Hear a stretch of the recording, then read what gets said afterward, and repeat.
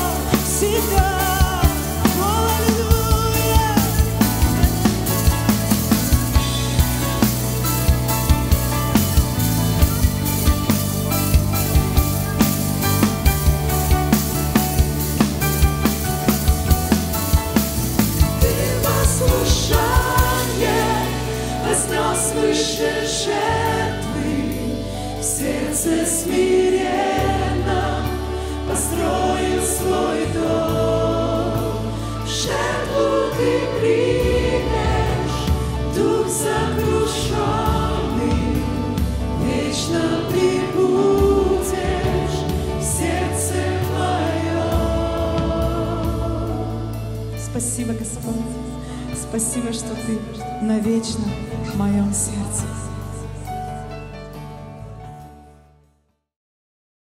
But it's so good to see you today. Как приятно видеть вас. And today we're going to do questions and answers. Сегодня у нас ответы на вопросы. And I think we're going to have fun. И мы хорошо проведем But время. right now we're going to receive the tithe. Но сейчас мы будем жертвовать и отдавать десятину. And I want to read to you from Psalm 103. Я хочу прочитать из 102 псалма. So if you have your Bibles, Если у вас есть Библия, open to that place. пожалуйста, откройте 102 псалом. Listen to these wonderful words Смотрите, какие чудесные слова. beginning in verse 2. Начиная с первого стиха. Bless the Lord, O my soul, «Благослови душа моя Господа, and forget not all his benefits. И не забывай всех благодеяний Его». Do you ever stop and think about his benefits? Вы вообще останавливаетесь, чтобы задумываться о том, что Бог делает для вас? This morning I was praying, Сегодня утром, когда я молился, reading my Bible, читал Библию, and just began recounting all the goodness of God я начал припоминать все проявления Божьей благости ко мне. We need to remember his benefits. Нам должно помнить все благодеяния Бога. And the next verse И says, далее написано, who forgives all thy iniquities. Он прощает все беззакония твои аминь. Who heals all your diseases. и исцеляет все недуги твои. He absolutely is a healer. Бог целитель твой, Who redeems your life from destruction. и Он избавляет от могилы жизнь твою, Who per- crowns you with loving kindness and tender mercies. венчает тебя милостью, щедротами, And who satisfies my mouth with good things. насыщает благами желание твое, So that my youth is renewed like the eagle. и обновляется подобно орлу юность твоя. That is amazing. Удивительно. All of those belong to us. И все это наше. Those are just a few of the benefits. Это лишь некоторые благословения. Скажи аминь. What a joy Какая радость to be a child of God. быть Божьим ребенком, To live in His protection. жить под Его защитой, To live under His blessing. жить под Его благословениями And to experience His и benefit. наслаждаться Его благостью. Amen. Амин. And today we're going to give to Him. Давайте сегодня жертвовать Ему. And it is our privilege. Давайте почтим Его, для нас это So reach for привилегия. your И tithe, я приглашаю вас взять десятину, reach for your offering, пожертвование. and let's give generously to the Lord. Давайте щедро почтим Господа. Remember my teaching. И помните, я учу, God is generous with the generous. Бог щедр по отношению к щедрым. And when we are generous, Когда мы щедры, God gets involved. Он принимает участие в нашей жизни. So reach for your tithe, Я приглашаю вас взять десятину, reach for your offering. пожертвование. Let's hold it before the Lord. Поднимем Господу. Father, we thank Отец, благодарим Тебя for all your benefits in our за все Твои благословения и щедроты в нашей жизни. You truly are amazing. Ты воистину изумителен, Бог, And we're so и thankful. мы признательны. And Lord, with grateful И hearts, мы с благодарным сердцем today we bring you our tithe. сегодня отдаем десятину. Lord, you love a cheerful giver. Тебе, Господь, нравятся те, кто доброохотно отдает. And today we. И мы сегодня с радостью приносим, и мы отдаем верой во имя. Иисуса. Amen. Амин. Let's give to the Давайте жертвовать Господу. Если вы хотите сделать пожертвование, отдать десятину или пожертвовать на один из особых проектов церкви, у вас есть несколько способов это сделать. Наличными. Положите пожертвование в специальный мешок, который вам передадут служители. Банковской картой в фойе. Там вас ждет наш служитель за стойкой с надписью «Электронные пожертвования». На сайте церкви на странице «Пожертвования» через систему Сбербанк онлайн, набрав в поисковой системе «Благая весть». Если у вас остались вопросы, задайте их служителю на стойке электронных пожертвований.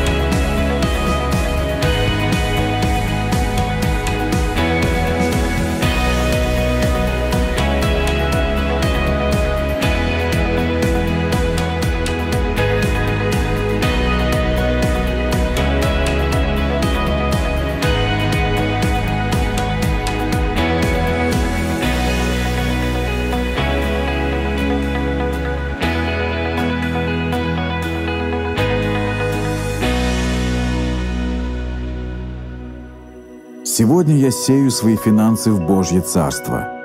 Я поклоняюсь Богу, отдавая свои деньги, и я делаю это в послушании Богу и Его Слову. Благодаря моему послушанию Божье Слово будет проповедано моему ближайшему окружению и даже до краев земли. И многие люди достигнут совершенства в Иисусе Христе. Бог пообещал, что Он благословит меня за то, что я с верностью отдаю десятину и пожертвования, и я верю, что во всех сферах моей жизни произойдет умножение. Верой я сею, и верой я принимаю свой урожай. Мы благодарим Тебя, Господь, что Ты даешь нам, Господь, благословение, финансы. Ты заботишься, Господь, о всех нуждах наших и даешь нам способность работать и зарабатывать. Мы отдаем Тебе, Господь, эти деньги в знак поклонения Тебе и просим Тебя, Господь, о том, чтобы Ты благословил все дела наши. И, Господь, мы отдаем Тебе эти молитвенные нужды и нуждаемся в том, чтобы Ты обильно, Господь, благословил, дал своевременный ответ на каждую молитвенную нужду во имя Иисуса. И все вместе сказали Аминь.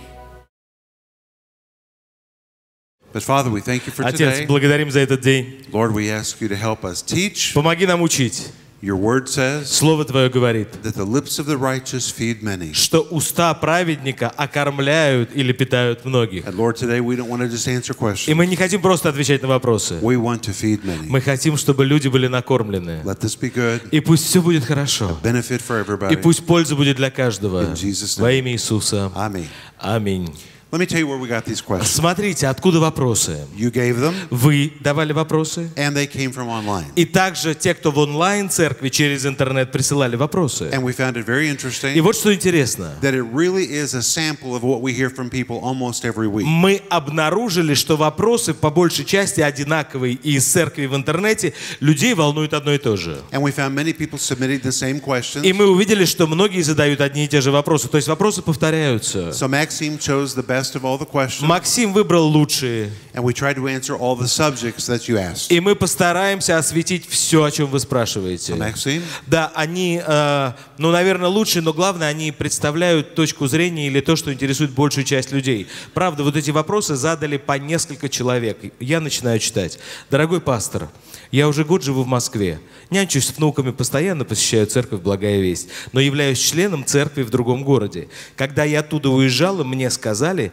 что десятину я должна отправлять туда, в ту церковь, членом которой являюсь. Но После женской конференции с Терри Фой я засомневалась, правильно ли я делаю. Она, Терри Фой, сказала, что нужно финансово поддерживать тех, кто поднимает тебя наверх. А возрастаю я именно с вами, с благой вестью. Скажите, как правильно? И вот из онлайн-церкви много-много вопросов.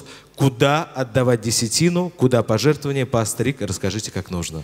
Well, my thinking about this has developed over the years. На самом деле, мое мнение об этом менялось с ходом времени. I believe, Я, based on Malachi chapter 3, на основании того, что написано в Малахии 3 главе, that you should tithe where you're being fed. считаю, что десятина твоя должна идти туда, где тебя кормят. If you go to a restaurant, Кормят духовно. Ведь когда ты идешь в ресторан, you don't say to the restaurant, ты же не говоришь в этом ресторане, this has been great food, вы меня хорошо покормили, but today I'm pay that restaurant over there. но заплачу я в другом ресторане, That doesn't work. где, где, который ближе, да, не, так же не получится. And spiritually, it's not right either. И с духовной точки зрения именно так. You should tithe where you're being fed Десятину надо отдавать туда, в ту церковь, в которой тебя кормят духовно. and where you're looking for spiritual leadership. Ты должен отдавать десятину туда, в ту церковь, которая для тебя духовный авторитет. In Malachi chapter 3, Малахи 3 глава. we're told to bring your tithe into the А storehouse. говорится о том, что десятину надо отдавать в дом хранилища. That's the place where you get fed. Дом хранилища – это то место, где тебя духовно кормят, где твой источник питания. So it could be the physical church you attend, П- Поэтому это может быть церковь, в которую ты приходишь физически. It could be the online church you attend, Если для тебя онлайн-церковь – главный источник духовной пищи, то десятина туда должна but идти. it's where you're fed. Но где кормят, туда и десятина. You can give offerings to other places, Жертвовать можешь куда хочешь. but your tithe belongs to where you're fed. Десятина идет туда, где тебя кормят духовно. Пасторик, спасибо большое. А, снова о финансах вопрос. А почему в нашей церкви так много внимания уделяется пожертвованиям? You know, I find that an interesting question. Вот интересный вопрос. People say, why do you talk about money every week? Люди говорят, ну почему вы каждую неделю говорите о пожертвованиях? We talk about Jesus every week. Мы каждую неделю говорим об Иисусе. Nobody ever asks me why we talk about Jesus Но every week. почему никто не спрашивает о том, почему мы о Иисусе говорим каждую неделю? Every week we have an invitation. Каждое воскресенье призыв к покаянию. Nobody ever says why. Никто не спрашивает, а почему? Every week we worship. Каждую неделю мы поклоняемся. Nobody says why. Никто не спрашивает, почему каждую неделю. Every week we talk about money. Каждую неделю мы говорим о деньгах. And somebody always says why. И всегда находится кто-то, кто говорит, а почему о деньгах каждую неделю? They select that out of everything. Люди выдергивают из контекста вопрос денег. The issue of money has always been offensive to people На самом деле вот этот вопрос финансов часто задевает людей. because it really touches people personally. Потому что на очень личном уровне затрагивают деньги. People are on different levels financially. У людей разный финансовый достаток. There are people with a lot of money, У людей есть э, много денег, у кого-то. people with no У money, кого-то нет денег. people with a revelation about У money, кого-то есть откровение о том, что нужно делать с деньгами. people with no revelation Есть about люди money, без откровения о том, что нужно делать с people деньгами. struggling in their finances. У людей проблемы с деньгами. So when you talk about money, Поэтому, говоря о деньгах, it affects people differently. ты затрагиваешь людей по-разному. But it's right to talk Но about на it самом деле о деньгах говорить нужно. because it is part of our worship. Потому что финансовое даяние является частью поклонения Богу. It is absolutely part of our worship. Несомненно, финансовое пожертвование – это часть твоего поклонения Богу. It is financial worship. Ты финансами своими поклоняешься Богу. Jesus spent 30% of his ministry talking about money. Иисус 30% своего служения говорил о деньгах. We don't do that. Или о вопросах, а, связанных с деньгами. Но мы даже не 30% говорим о деньгах. We don't do what Jesus did. Мы даже не, дел... не говорим о деньгах столько, сколько говорил Иисус. Мы меньше. My goal У меня есть цель. is just to encourage people to financially worship. Просто призвать людей поклоняться Богу деньгами. That's why I do it. Поэтому я и говорю о деньгах. Хорошо. Пасторик, огромное спасибо. Пасторик, следующий вопрос. Когда и где откроется новый филиал? When? Когда и где? I will answer that this Saturday at the Yadruf. В субботу на ядро, кто придет, услышит ответ. And then it will be public knowledge. А потом уже разойдется по церкви, но начнем с ядра. But we do have an answer. Ответ есть. А, следующий вопрос. Сколько человек с нами в нашей онлайн-церкви «Благая весть»? Сколько человек смотрит нас в интернете, нашу «Благую весть» онлайн? Well, I just asked Andrei Vasilyev Я, that question я вот буквально недавно задавал этот вопрос Андрею Васильеву, because I want to be accurate. потому что я хочу точно на этот вопрос So this ответить. is right from his lips. Вот а, взят у Андрея Васильева, свеженькое. We have 35,000 people, 35 тысяч человек всего с нами, да? different, uh, people Разных людей, that watch us every month. которые смотрят нас каждый месяц. If you put together all the social media people, Если сложить всех, кто с нами в соцсетях, we have about 50,000 people every month watching. 50 тысяч человек наберется. That's amazing. Удивительно. Our goal is И 100 у нас есть цель, чтобы было 100 тысяч. just for IGNC. Только в IGNC, чтобы у нас было 100 тысяч. We started in 2016, Мы начали все это развивать в 2016 so we are really we're making fast progress. поэтому у нас рост большой. Today, Сегодня thousands and thousands of people are with us тысячи и тысячи людей с нами через интернет. who look at us as their church home. И для, для них наша церковь домашняя, мы для них их дом, домашняя церковь, но через интернет. They worship with us every Они вместе с нами каждое воскресенье you. поклоняются see you Богу. on TV. Они видят вас на телеэкране, на экране компьютера. And they really feel that you are their family. И люди, которые с нами через интернет, считают нас своей семьей. They're watching right now. Они прямо сейчас с нами. Let's all wave at them. Давайте помашем. Wave at them. They're with us. Они с нами, We're привет. glad that you're with us. Интернет-семья, привет. Мы рады, что вы с But нами. that's the answer. Вот ответ. Спасибо, пасторик. А, многих интересует вопрос, что вы думаете о женщинах-служителях? Можно ли женщинам проповедовать в церкви? Oh, это опасный вопрос. I have a wife that's a У preacher, меня жена проповедует, вопрос опасный, да? Но я отвечу на основании Библии. There are two problem texts, Есть два текста, вызывающих вопросы. and people always run to those texts И люди всегда обращаются к этим двум отрывкам Писания, to say women can't teach publicly. чтобы говорить, что женщинам нельзя учить публично. I grew up in a denomination Я вырос в традиционной церкви, where women could not preach, в религиозной церкви, в которой женщинам нельзя было and проповедовать. so I understand that mentality. И я понимаю мышление таких людей, которые против того, чтобы женщины служили. In 1 Timothy А в первом послании Тимофею, chapter 2, второй главе, не надо открывать, я просто скажу. Павел говорит, But here's the key. А Or учи- to usurp authority over a man. А учить жене не позволяю не властвовать над мужем. But to ask questions when she gets home. Но быть в безмолвии, пусть когда домой придет, спрашивает. Then in 1 Corinthians chapter 14, 1 Коринфянам 14. Paul also says Павел пишет, that women are to learn in silence. женщины должны учиться в безмолвии. So people grab those verses И люди берут эти стихи and they say, "Oh, there it и is. говорят, ага, вот, Women should never be on the stage." женщинам вообще нельзя на сцену. Well, what I believe should already be obvious На самом деле, я верю, это очевидно. because our stage has a lot of women. А, По тому, что происходит на нашей сцене, вы уже понимаете, во что верю я. У нас на сцене много женщин. And we have a lot of women leaders in our У church. нас в церкви много женщин-лидеров. But let me tell you what Paul was talking На самом деле, позвольте объяснить, о чем говорил Павел. The greatest women liberator in human history На самом деле, за всю историю а, человеком, который самую большую свободу дал женщинам, was the Apostle Paul. был апостол Павел. His words are not slavery. На самом деле, то, что говорит Павел, не загоняет женщин в рабство. His words are absolute liberty. Напротив, то, что говорит Павел, несет женщинам свободу. In the first century, В первом веке women were not visible. женщины вообще были невидимками. For example, Например, women were not allowed to shop. женщинам нельзя было ходить по магазинам, на рынок. Слава Богу, это хорошая идея. There were no women in the market. Женщинам нельзя было ходить за покупками. It was literally a man's world. На самом деле в то время был мир мужчин. There were no women teachers, Правили мужчины. Женщины нигде не могли учить. not even in grade school. Даже в школах женщины не могли There were учить. no female politicians, Не было в политике женщин. no public female life. Нигде женщины не занимались публичной деятельностью в то время. Just check it out, you'll find out. Проверьте в источниках исторических, вы увидите, что это правда. It was a man's world. В то время правили мужчины. And when there was a public И meeting, когда собирались люди, there were no women there. женщин не приглашали на публичные собрания. This really was not a put down of women. На самом деле все, что здесь говорится, не унижает женщин. It was just the culture of the time. На самом деле просто культура была такая. So women И женщины, were real masters at home. женщины правили или заправляли всем дома.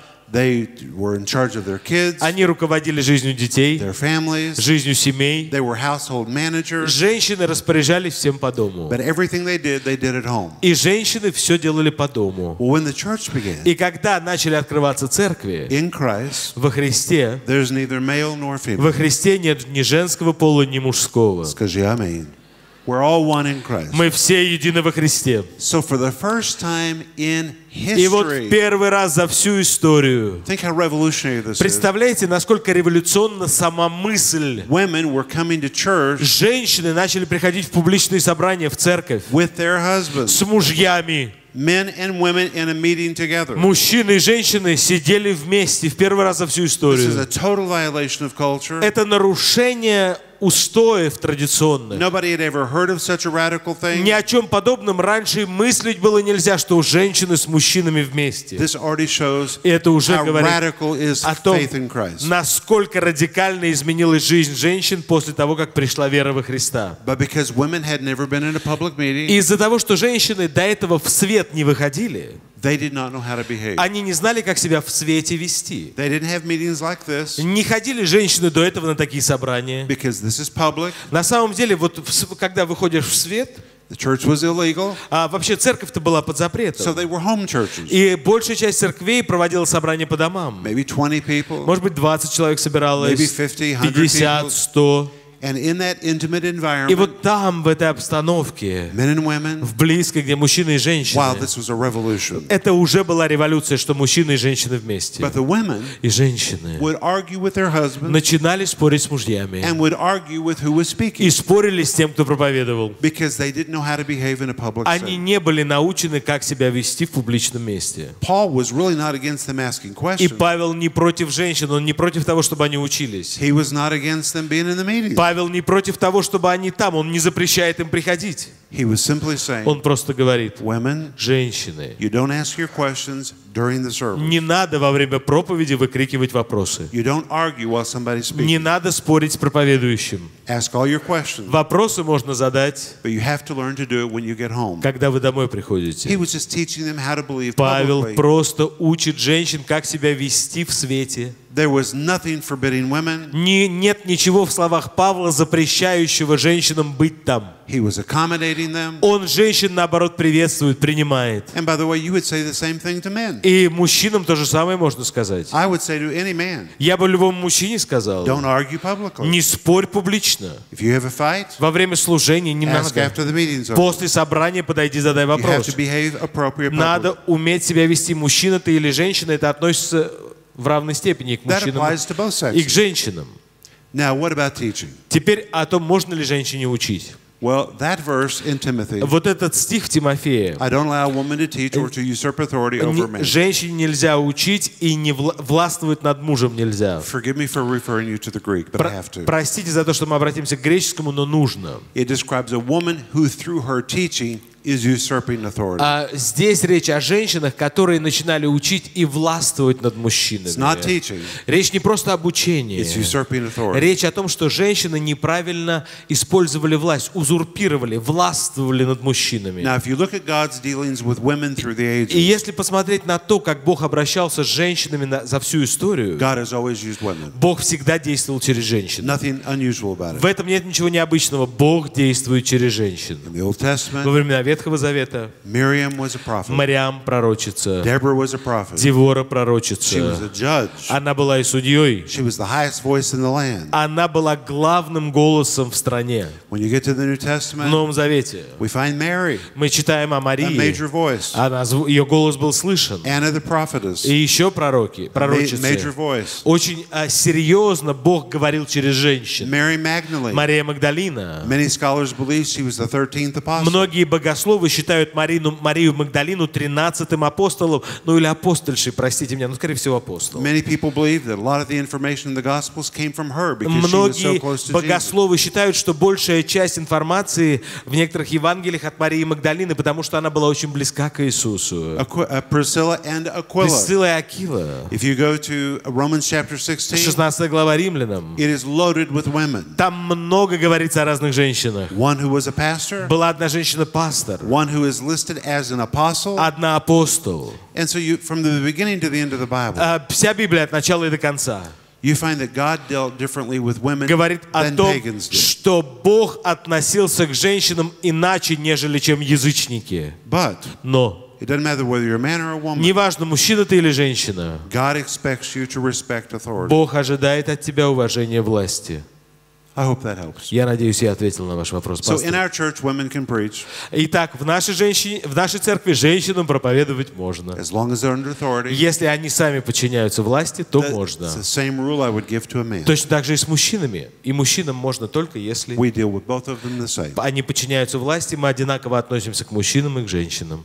Пасторик, спасибо. А, уважаемый пастор, какое у вас отношение к синодальному переводу Библии? Именно к переводу. Ведь в синодальном переводе очень много ошибок, неточностей, и он не всегда соответствует духовной действительности. Well, I use the King James Version. Я использую а, перевод короля Иакова, Six- или Якова, как его еще называют. 1611. А, 16 век. In its time, it was the best. В 17 веке он был переведен, и на то время это был лучший перевод. Today, it's old language. А на самом деле сегодня вот тот перевод, который я читаю, это уже устаревший английский. Words that worked then don't work now. те слова, которые использовали тогда, сегодня уже не употребляют. And there's something else very И important. еще одна важная вещь. I'm going to answer you truthfully. I don't want to disturb you, Я не хочу у вас вызвать беспокойство, но я говорю правду. but I have to tell you the truth. Я должен говорить правду. From the time this translation and your translation С was момента done, перевода короля Якова или нашего синодального перевода they have found 50,000 manuscripts of the New Testament. были найдены еще 50 тысяч манускриптов Нового New Testament, Нового Завета. 50,000. 50 тысяч. Many of them very old. Очень много старых манускриптов. Many of them older than the ones that were used for this. Многие по возрасту старше, чем те, которые были использованы вот для этих переводов короля Якова или Синодального. And because of То that, есть найдены новые источники, более достоверные, и благодаря этому we have today better translations. сегодня есть лучшие переводы. The truth is, it's all good. На самом деле любой перевод хорош. It's all good. Все полезно. But some of the newer translations Но а, поздние переводы are better. лучше. Doesn't mean you can't use the old one. Это не значит, что нельзя использовать синодальный. I use King James. Я использую короля I Якова. love it. Он мне It's нравится. in my heart. В моем сердце именно стихи из короля Якова. The original has no mistakes. На самом деле ошибок нет только в оригинальном тексте.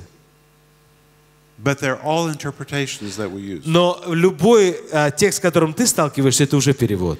So what you want to do, Если это не греческий или не еврей, да поэтому it's best to use a Bible based on the oldest version. лучше всего использовать перевод, который сделан на основании самых древних манускриптов или самых древних So you источников, get to closest to the original. чтобы как можно ближе подобраться к оригинальному тексту. I hope that helps. Я надеюсь, я ответил на ваш Let me вопрос. tell you one more И thing. еще одна вещь. I want to really bolster your authority in the New Testament. Я хочу, чтобы вы больше а, доверяли Новому Завету. How many of you have heard of Homer? Кто из вас слышал о Гомере? Гомер, Гомер. Everybody, everybody knows Homer. Гомер. Everybody quotes Homer. Все цитируют Гомера. Homer, Homer, Homer. Гомер, Homer, Гомер, Homer. Гомер, Гомер, Гомер, Гомер. Вы знаете, какой самый старинный а, оригинальный текст, который был обнаружен с тем, что написал Гомер? 800 years after he died. А, через 800 лет после того, как Гомер умер, вот что-то было написано, и в руках ученых есть только что-то, то есть это переписывалось, переписывалось, и только через 800 лет после его смерти, вот какие-то документы, One copy, лишь один экземпляр есть, 800 years after his death. который появился аж через 800 лет после его смерти. И все цитируют, и никто не сомневается в истинности написанного Гомером. Plato and Aristotle. А, Платон, Аристотель. Nearly a thousand years after they died. Вот а, источники информации о них, они появились аж через тысячу лет после их смерти. То есть, ну, переписывалось, переписывалось, до нас дошло лишь что-то очень позднее. И все цитируют. Никто не сомневается, что Платон жил, что Гомер жил. Аристотель, и все они говорили то, что говорили. Documents that are reliable. Есть источники, на которые полагаются, и никто не сомневается.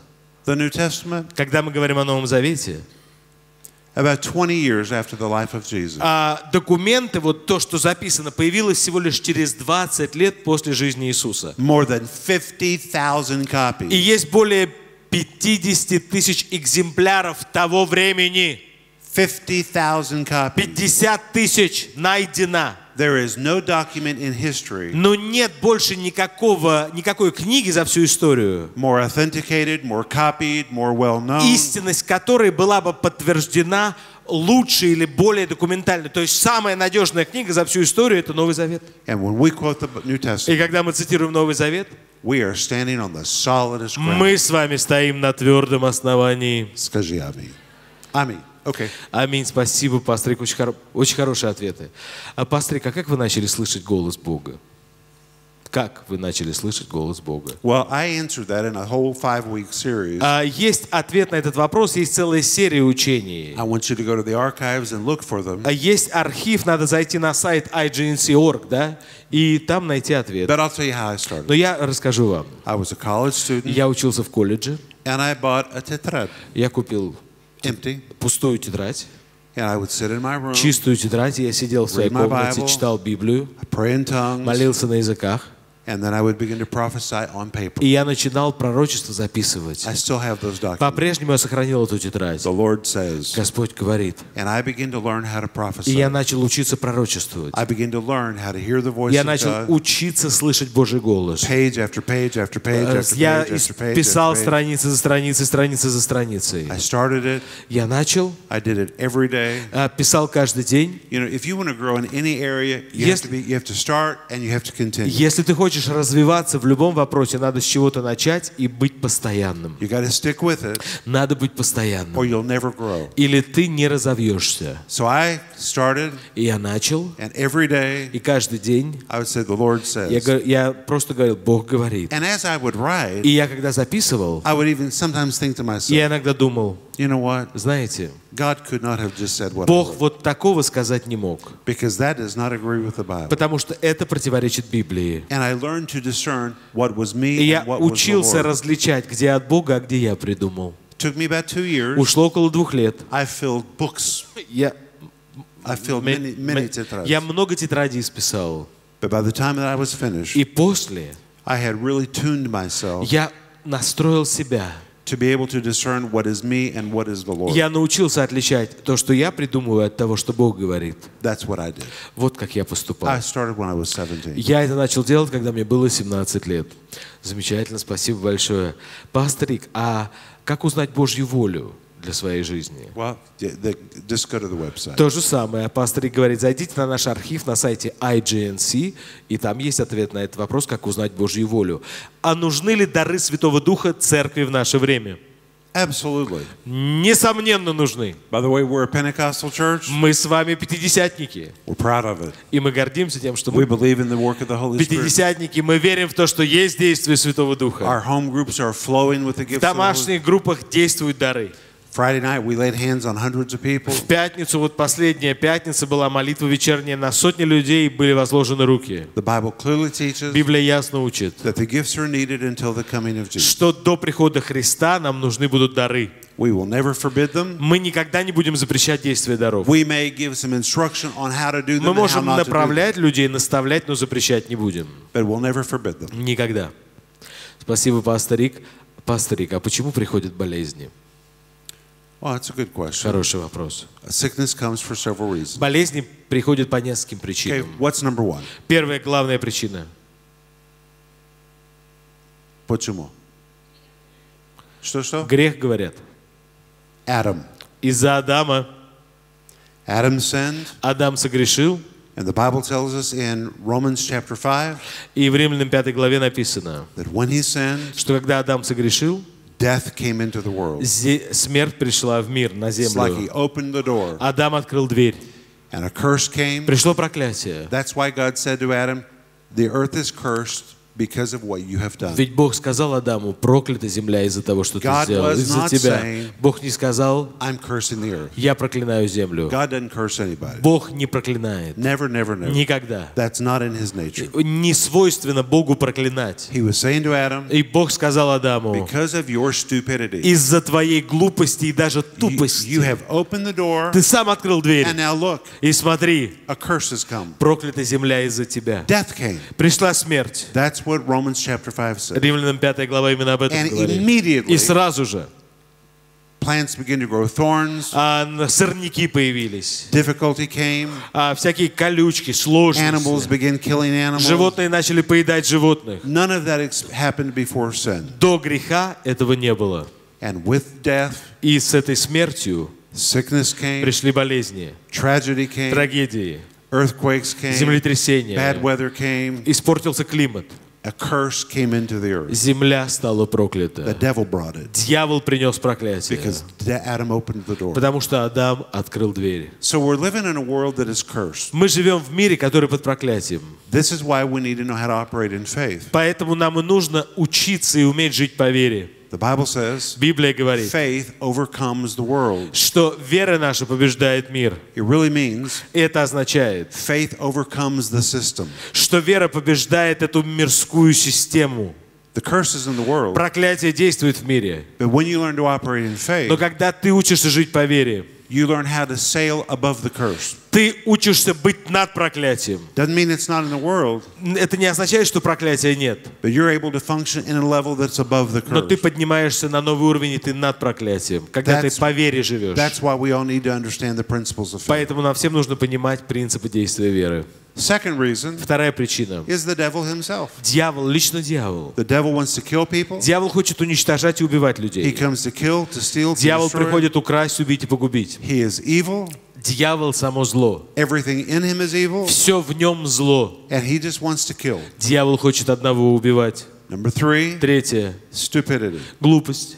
That's the main reason people get. Глупость – главная причина для болезней. They don't eat right. Люди неправильно They don't питаются, не exercise. занимаются спортом, They abuse themselves. неправильно относятся к своему Then they здоровью, get sick. потом заболевают. Then they come stand in a prayer line. Приходят, чтобы за них помолились. We pray for Мы them. молимся, God touches them. Бог касается. They go home and get sick again Они снова уходят и снова заболевают. because they keep doing the same stupid Потому stuff что they не меняется образ жизни, делают те же глупости.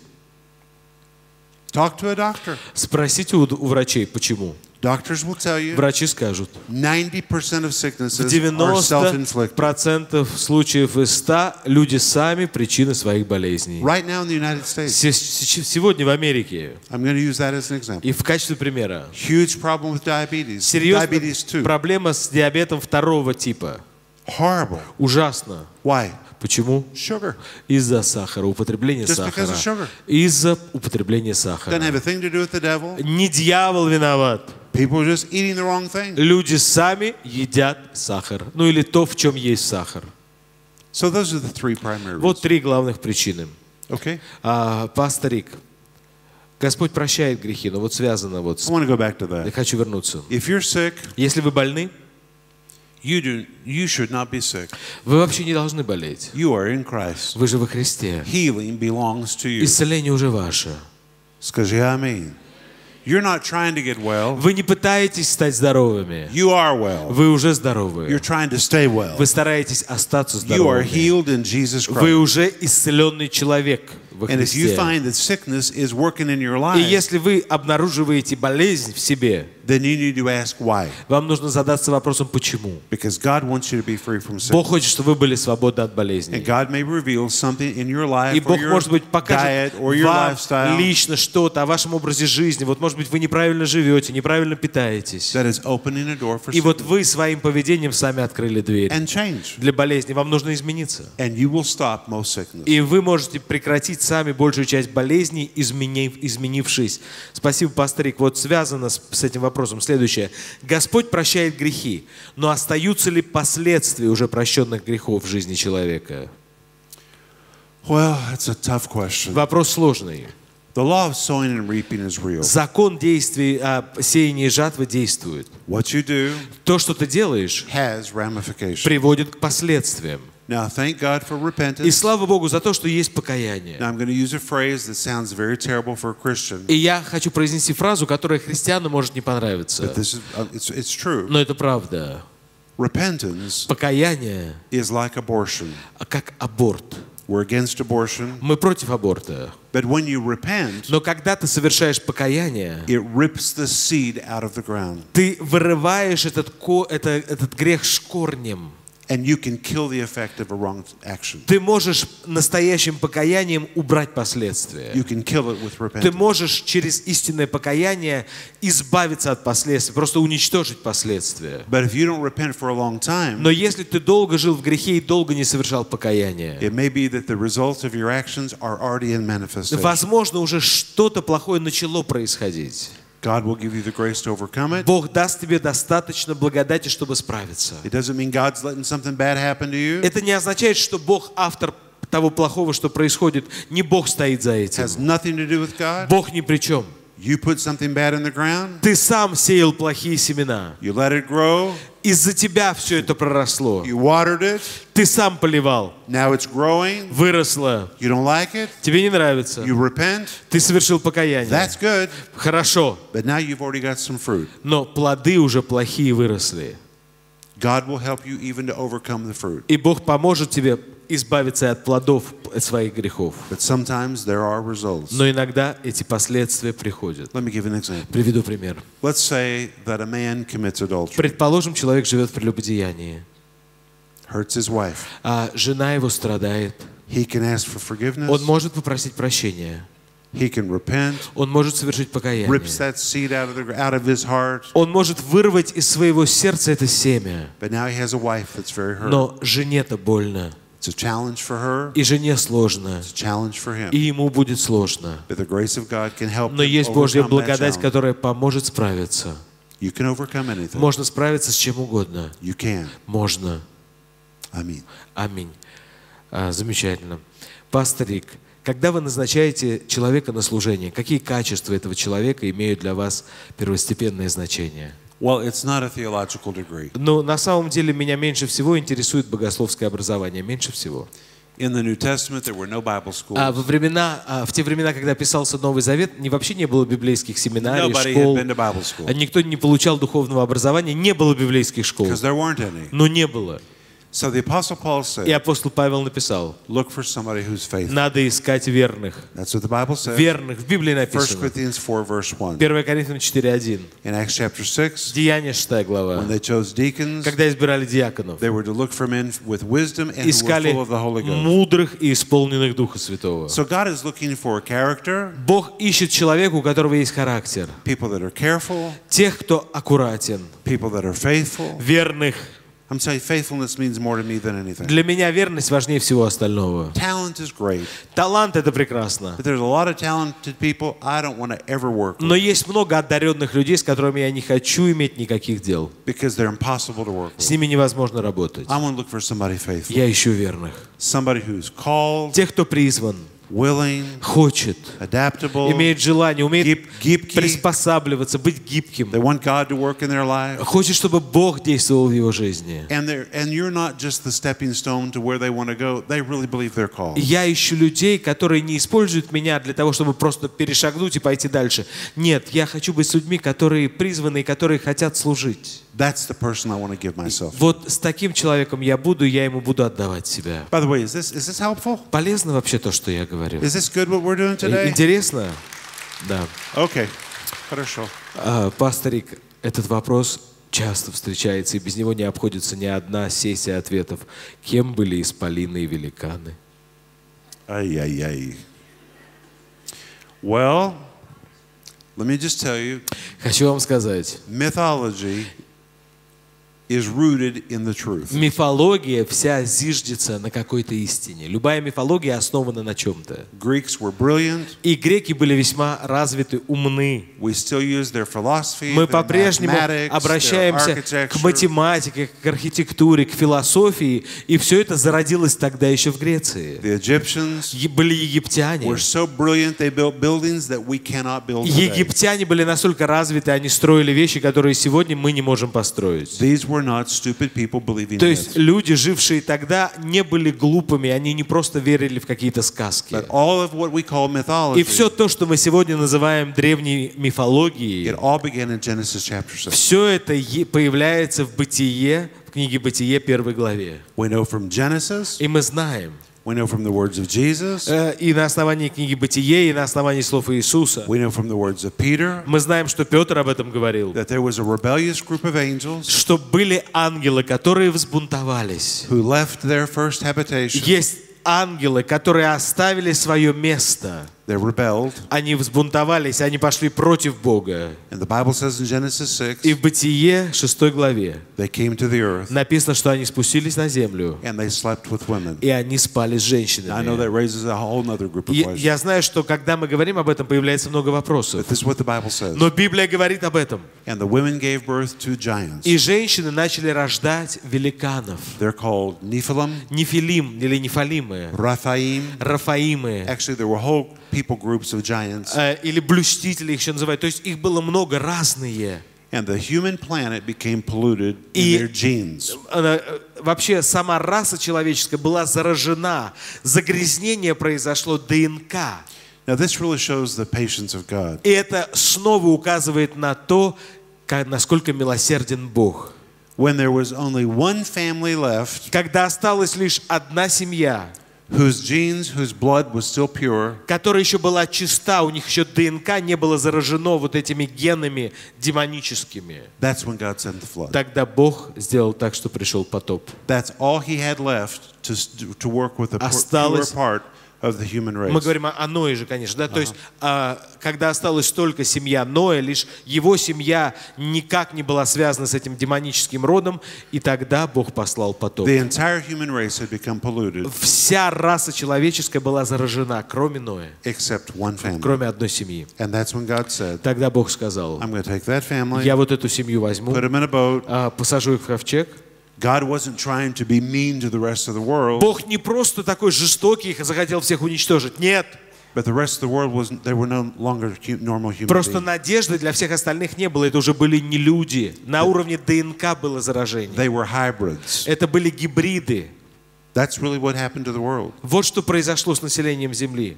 And that's why they were giants. Поэтому и были They were, великаны, had multiple fingers, гиганты, toes, у них было по two несколько sets of пальцев, а зубы, несколько рядов. The Bible says the world was filled with В wickedness. Библии написано, что такое нечестие было на земле. It was darkness on a level like none of us have ever Мы с вами даже не можем представить ту тьму, которая была на земле до потопа из-за этих демонических существ. Now, what's И вот что интересно. is the Bible says it happened again after the flood. И в Библии говорится о том, что после потопа снова это произошло. And if I can just throw in something else, just to make you think, И вот хочу сказать что-то, что заставит вас задуматься. Jesus said, Иисус сказал, before the next coming of, of Jesus, перед а, последним, перед вторым пришествием Иисуса it will be будет так же, как было в дни Ноя. And there are some theologians who И believe некоторые богословы считают, that there will be a remingling of demons with humans что снова появятся эти гибриды или отпрыски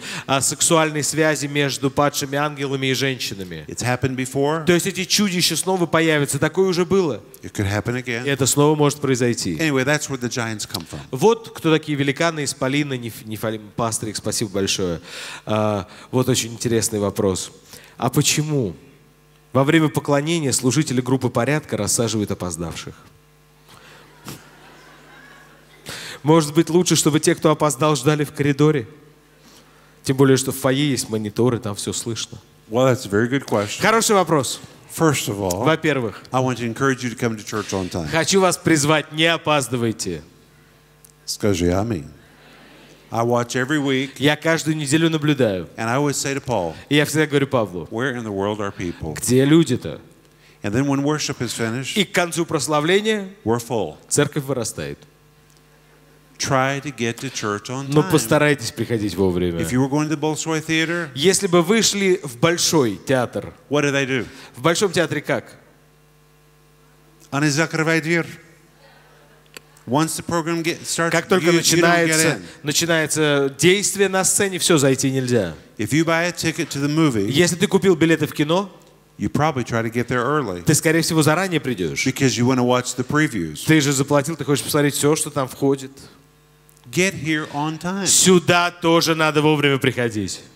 Get here. Вовремя. And don't leave before the service is over. И нельзя уходить до того, как мы закончим служение официально. A businessman in this church said to me, Однажды один бизнесмен, бизнесмен нашей церкви сказал мне, he said, I don't understand these people that get up and leave during the invitation. я не понимаю, почему люди во время призыва к покаянию встают и уходят. He said, that is such a holy moment. На самом деле это святыня, это святой момент. Babies are being born into the kingdom of Вот God. в момент призыва к покаянию рождаются младенцы в Царстве We Божьем. need to watch, we need to pray, Мы должны наблюдать, верить, быть в этом. And people are getting up and leaving. А люди встают и выходят. It is so rude to the Но Holy это просто Spirit. невоспитанность, это неправильное отношение к действию Духа Now, if you Святого. have to be somewhere because you have a position in the church, I understand that. Я- я- я position. Если вы из отдела служения, вот вы в церкви, и вам надо выйти из-за того, что здесь в здании что-то надо сделать, вы в служении, это понятно. But try to get here early Но все-таки надо приходить заранее. and don't leave. You can wait three minutes. Но еще три минуты хотя бы подожди, пока призыв к покаянию закончится, не беги. Now, what we do И мы is after the service begins, we bring people in through the back door а, через, после служения мы, лю- люди заходят через задний вход. Как только началось служение, там есть вот сзади вход, то есть началось прославление, сюда уже зайти нельзя, вход только через ту дверь, чтобы не отвлекать. Это мы делаем. We don't want to punish anybody. Мы никого не хотим наказывать за опоздание. Но когда вы опоздали, and you come in and you make noise, и вы пришли, создается шум из-за вашего прихода, you are punishing those that were on time. вы своим опозданием почему-то наказываете невиновных, тех, кто вовремя пришел. You may never have thought about Вы, that. может быть, об этом не думали. They're trying to enter into the presence of God. Люди пришли заранее, стараются войти в Божье присутствие, And by not getting here on time, you're really punishing а вы, опоздав, вы портите им жизнь. So let's all try to be on time. Давайте стараться вовремя приходить. Замечательно. Пасторик, дорогой пастор, а вы слушаете проповеди других проповедников? И если да, то кого? All the time. Постоянно слушаю. I listened to preaching this morning. Я сегодня утром слушал проповедь. I listen to preaching every day Каждый день. because of uh, YouTube. Есть YouTube.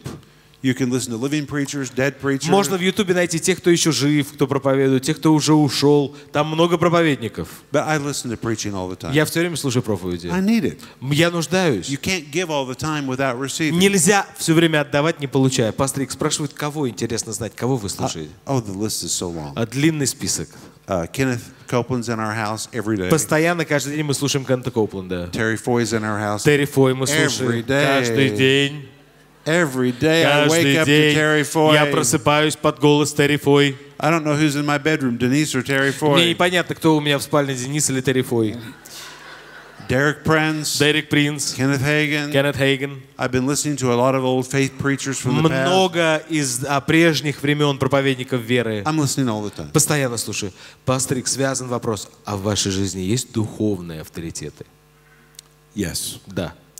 I have a group of men. Есть люди, Actually, I have several. несколько. We have a board of directors, Есть совет директоров.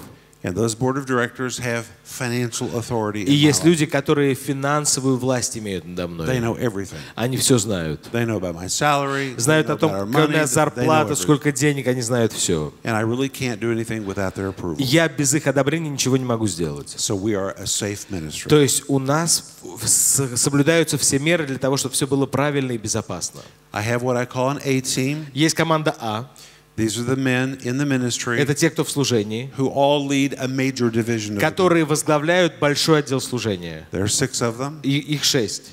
Uh, I'll, I'll name them. Я их по имени перечислю. Paul. Павел. Paul is the second pastor of this Павел второй пастор церкви. Андрей Андрей Васильев, Васильев. who's over IGNC. Он отвечает за онлайн-церковь. Юра Руль, Юра Руль. who's over Media Mirror. За Медиамир отвечает. Uh, Andrei Chabotra Андрей Чеботарев. is from Riga. He has been in my life Он в Риге, но он в моей жизни дольше всех остальных. Joel, who's over Rick Renner Ministry. Джоэл, который руководит э, служением Рика Реннера. I meet with these men Я с ними regularly, регулярно встречаюсь. and they really have authority in my life. И они также имеют власть надо мной. Now you may say, И вы, может быть, Wait скажете, a minute. подождите, you're over them. вы же над ними. How can they have authority? Как они могут быть над вами? Well, submission is voluntary. Подчинение – это дело добровольное.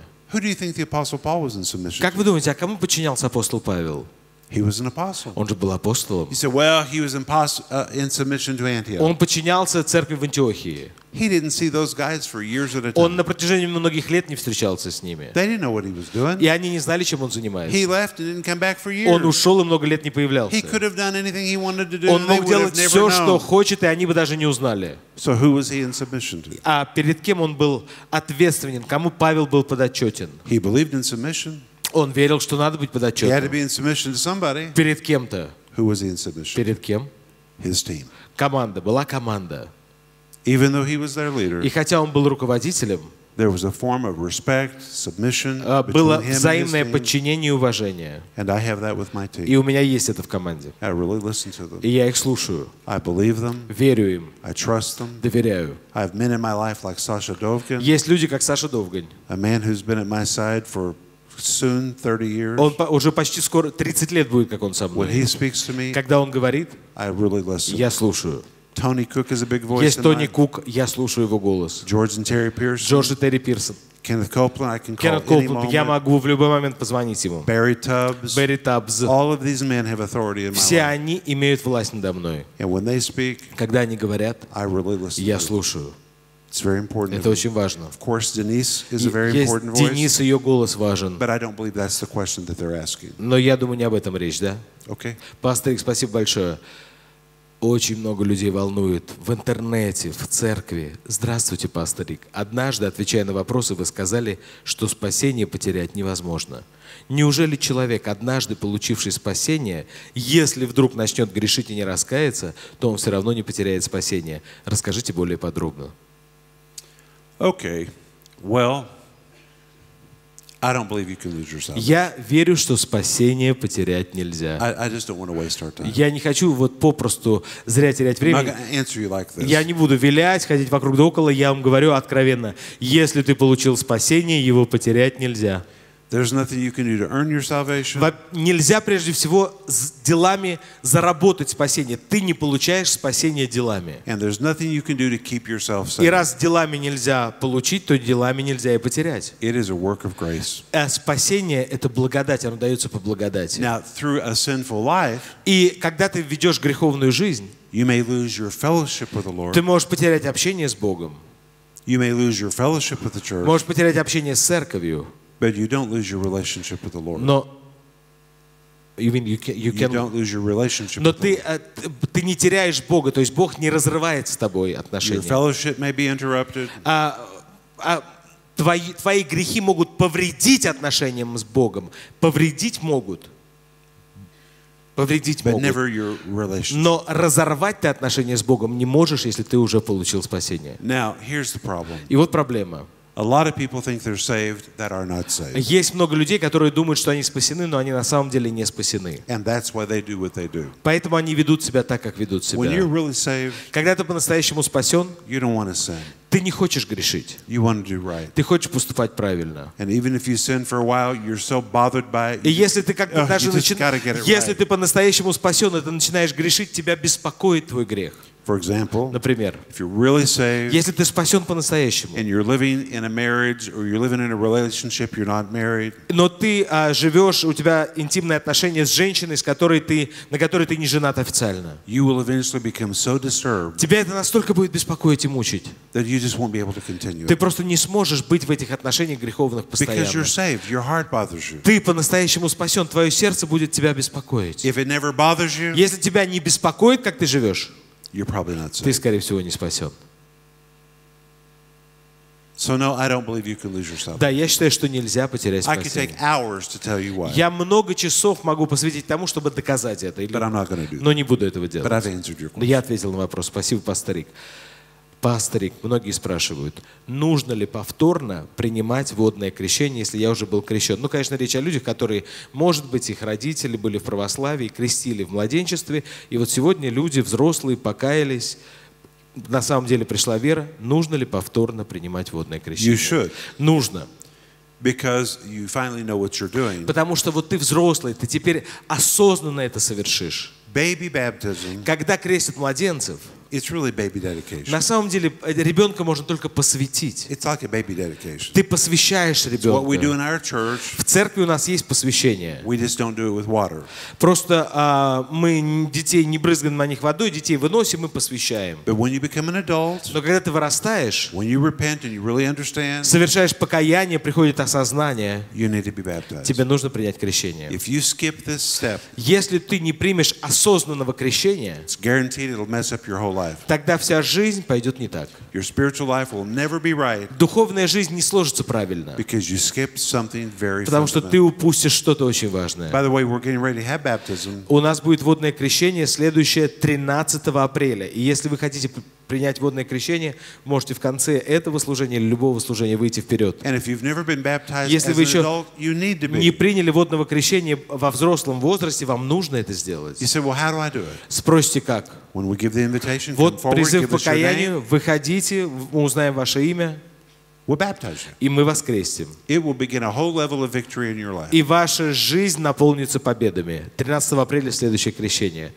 А, спасибо, пасторик. Следующий вопрос. Пасторик, а что значит одеваться как прилично святым? Это как? Okay.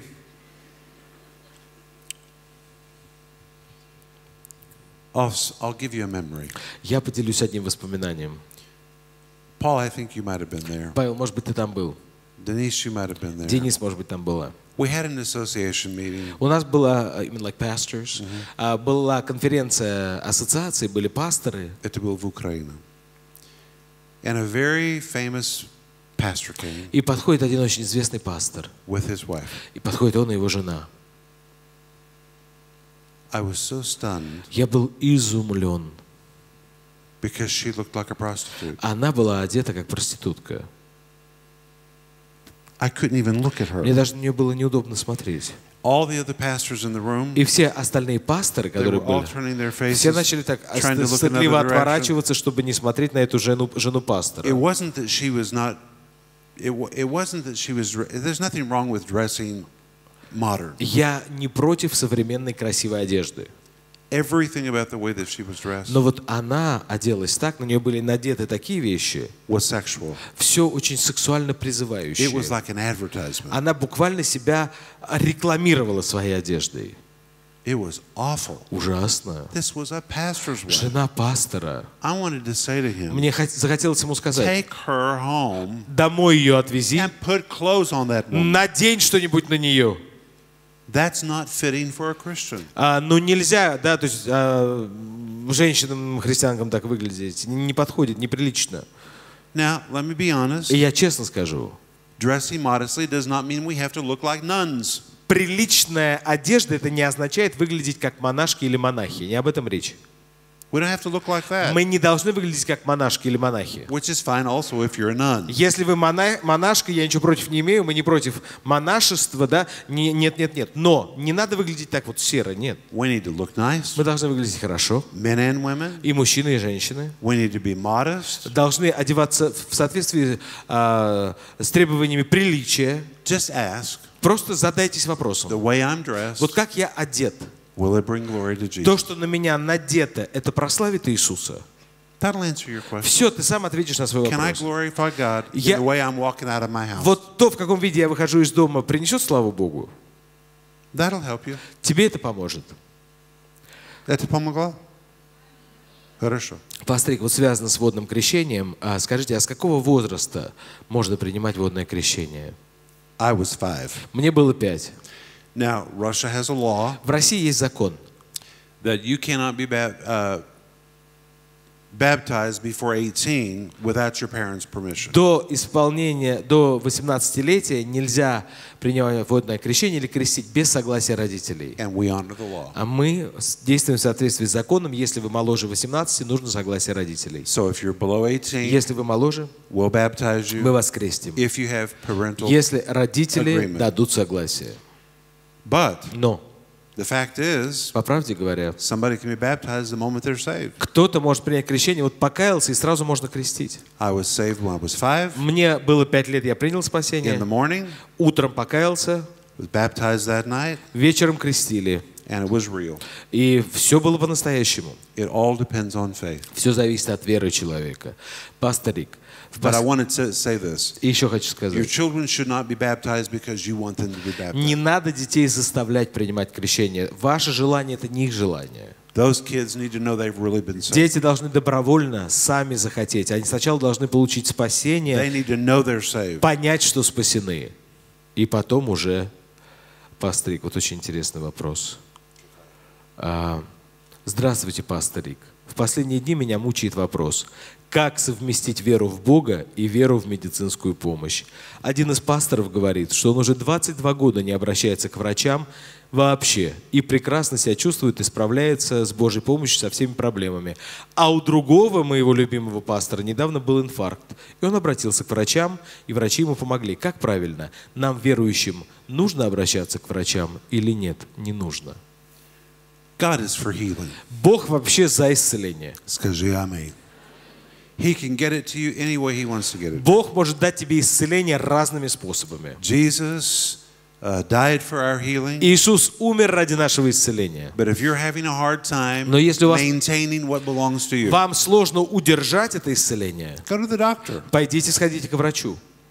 Nothing wrong with the doctor. Нет ничего плохого в, в врачебной помощи. Let me open your mind a little bit. Я хочу, чтобы мы мыслили шире. Who was Luke? Лука кем был? Врачу, да? Who did he travel with? Он с кем все время был? He traveled with the Apostle С Paul. апостолом Павлом. What kind of ministry did Paul have? Какое служение было у Павла? Signs, Чудеса, wonders, знамения. miracles. There he is traveling with a medical И с doctor. ним врач. You know why Luke was with Paul? Лука был с Павлом. Anybody know why? Почему? Кто знает? It wasn't just love, Не просто из-за любви. Because Paul was regularly beaten. Потому что Павла регулярно избивали. He was regularly beaten, Постоянно избивали, ему доставалось. and he needed help. Ему нужна была врачебная помощь. It was his private У doctor. него был э, свой врач, частный врач. I think it's amazing Это удивительно. because signs and wonders are flowing through Paul's hands, Потому что через руки Павла чудеса, знамения, исцеления. but he needs medical А help. ему нужен врач. It's amazing. Удивительно. Поэтому, глядя на Павла и Луку, мы видим идеальное сочетание веры и медицины. Все. Now, I believe when you go to the doctor, И я считаю, что когда идешь к врачу, you need to be releasing your faith. надо даже к врачу идти с верой. I'm believing God this doctor's going to help. Я верю, Бог, что ты поможешь мне через I'm врача. believing God this doctor's going to give me the right medicine. Я верю, что врач пропишет мне правильные лекарства. Faith works in every situation. Вера работает везде. Okay, one more question. Последний, да, пасторик? Да. Сейчас я... Да, это почти Как- время. какой бы задать? Wow, это было очень много вопросов сегодня. А, пасторик. Хорошо. Скажите, пасторик, почему верующие совершают паломничество в Иерусалим? Это были наши позвонить вопрос. Ну вот. Хорошо, есть еще один. Можете выбрать. Okay, I'll answer it. Хорошо. I think that there's an echo in the heart of every believer. В сердце каждого верующего звучит эхо. Jerusalem, Иерусалим, the city of the great king. город великого царя. It's not my favorite city, А для меня Иерусалим не самый любимый город. Но вообще христианам присуща любовь к Иерусалиму. And I think everybody should go there once in life. И каждый хотя бы раз в жизни должен посетить. Все, Окей. все, да? Еще одна. Еще один можно, хорошо. Ну, пасторик, а как христианин должен относиться к евреям? Максим, это то же самое. Ладно, хорошо. No, I'm going to answer then Я, I'm going to be done. я отвечу, это все. The Bible says Библия говорит, that the one who blesses Israel is blessed, что кто благословляет Израиль, благословен. the one who curses Israel is cursed. Кто проклинает, тот проклят. That law is the truth. Этот закон действует. If you study history, Изучая историю, you find that empires die. ты увидишь, что империи гибли из-за Иерусалима. How they treat Jerusalem determines whether they survive or they cease. То, как государство или империя относится к евреям и к Израилю, определит, выживет империя или государство или нет. And I think if we're smart, И если мы умны, we will love Israel. то мы будем любить Израиль. It will bring a blessing on our life. И наша жизнь будет благословлена. That's what the Bible says. В Библии так How написано. was this? Ну как вам? Да? Okay, we did it. Хорошо ответили. Спасибо, пастырик. I thought that was interesting. Интересно было. What was the most interesting question? Какой самый интересный вопрос был? Giants? Ге- Великаны, да? Какой? Не слышно. Все. Все. О, это хорошо. Father, we thank you Отец, благодарим for the wonderful word of за God. чудное Слово Твое. Lord, it's been such a privilege to Ка- just sit Какая привилегия была здесь today. сидеть, быть одной семьей. Help us to leave today energized Помоги нам сегодня уйти от- отсюда наполненными силой во имя Иисуса. Дорогие друзья, спасибо, что были с нами онлайн. Мы благословляем вашу неделю, благодарим вас э, за то, что вы являетесь верными, и даже когда не можете быть с нами телом, все равно онлайн вы с нами. Хотим напомнить, что наши служения проходят по воскресеньям в 10 часов, в 13 часов, в 17 часов и в 20 часов по московскому времени. Сегодня пастор отвечал на наши вопросы. Если вдруг вы не услышали ответ на ваш вопрос, вы можете задать его онлайн на сайте IGNC. Напишите его в графе «Задать вопрос пастору», и вы обязательно получите ответ. Церковь, благословляем вас. Пусть ваша жизнь будет наполнена ведением от Господа. Всего доброго, хорошей недели.